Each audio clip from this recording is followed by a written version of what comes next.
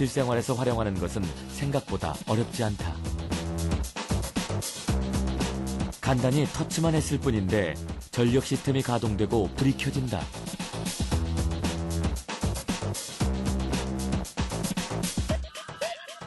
KT에서 제공하는 에너지 효율화 서비스는 어, PC와 KT의, KT가 제공하고 있는 영상 전화기 그리고 아이폰 그리고 향후 이제 상용화될 아이패드와 같은 일반적으로 사용자들이 갖고 있는 단말기를 통해서 에너지 효율화 서비스를 제공받을 수 있기 때문에 어, 기존의 별도의 그 IHD라는 단말기를 통하지 않더라도 어, 자기가 갖고 있는 단말기를 통해서 서비스를 제공받을 수 있는 게 특징입니다. 현재 스마트 그리드의 시범 단지로 선정된 곳은 동복리, 김영리, 월정리 등 12곳.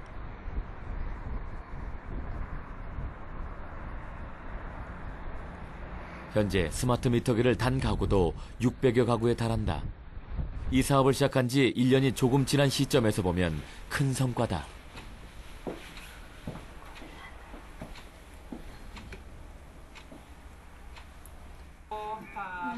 지금은 전체 시스템을 검증하는 실험 단계다. 이 과정을 통해 스마트 기술의 적용이 검증되면 한국형 표준을 만들어 전국으로 확대한 후 다른 나라와도 기술 경합을 벌이겠다는 것이다. 그렇다면 한국형 스마트 그리드가 적용된 스마트홈은 어떤 모습일까?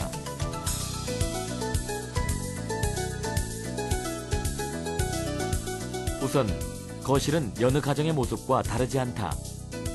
다만 TV, 에어컨 등 전자제품을 이용하는 방법이 조금 다르다. 여러 단말기들이 눈에 띈다. 집에서 스마트 그리드 시스템을 조정하는 도구들이다. 전자제품을 가동하면 플러그에 전달되는데 플러그는 사용하지 않는 전기를 차단시켜주는 절전형을 사용한다. 이번에는 거실에 전등을 작동시켜보자. TV 모니터로 집안의 전력 사용을 조절할 수도 있다.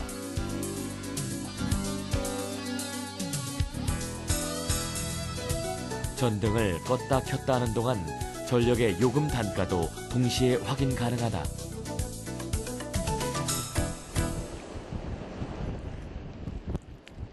제주도가 실증 단지로 선정되면서 주민들에게도 스마트 그리드라는 개념은 친숙해졌다.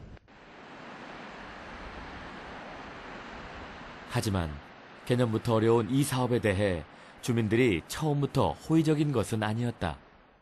저희도 이제 이해하기 어려운 스마트 그리드, 이제 저희도 이제 막 만들어가는 이 스마트 그리드에 대해서 설명을 하는데 어르신 분들이 상당히 생소하죠.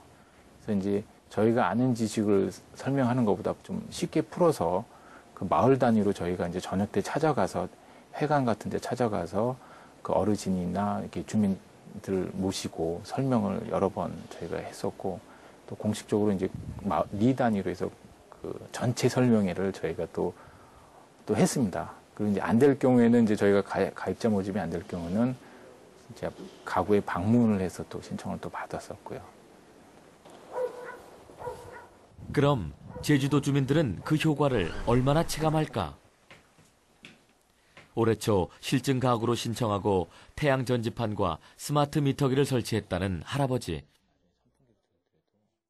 어, 이거 스마트 글이 이제 그 태양열 하기 전에는 전기료가 이고 3만 원 이상이 나왔었는데 그거 한 후로는 이게 한 달에 에, 1,130원이 이제 나온 거예요.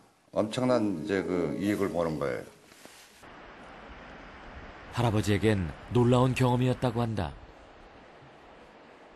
그렇다면 할아버지 가정과 같은 여러 가구들의 전력 시스템을 조정하는 곳은 어디일까?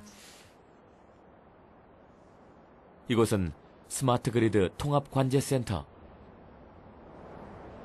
이 화면은 EV 자동차와 EV 충전소의 현황을 보여주는 화면이 되겠습니다. EV 자동차가 지금 어디에 있고 충전소에서 얼마나 충전을 하고 있는지를 보여주는 화면이 되겠고요. 일종의 스마트 그리드 네트워크의 브레인이라고 할 수 있는 곳이다. 사용자별, 시간대별, 장소별로 수요량을 파악해 전력의 흐름에 문제가 없도록 조정한다. 예, 여기에 보시면 초록색으로 반짝이는 게 각 가정에서 지금 실증하고 있는 가구들이고요. 그리고 황토색으로 반짝이는 게 EV 전기자동차 충전소입니다. 그리고 하늘색은 지금 renewable, 풍력이나 태양광 같은 renewable, renewable 발전기고요. 그 효과도 한눈에 파악된다. 풍력, 태양광 등이 시간대별로 이산화탄소를 얼마나 저감하는지, 실시간 요금의 변화에 따라 전력 소비량이 어떻게 늘고 주는지도 파악한다. 단전 사고도 막을 수 있다. 스마트 그리드 분야에 있어서 통합 관제 역할을 하는 통합 운영 센터를 한 예는 최초이자 최대가 아닌가 생각을 합니다.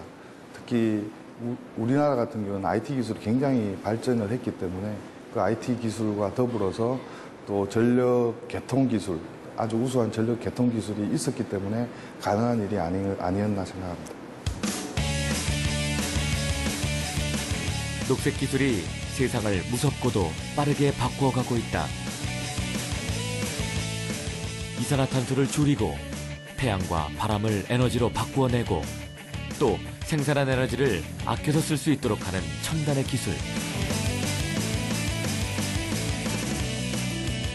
그 덕분에 세계는 지금 검은 화석 연료의 시대에서 녹색의 시대로 달려가고 있다.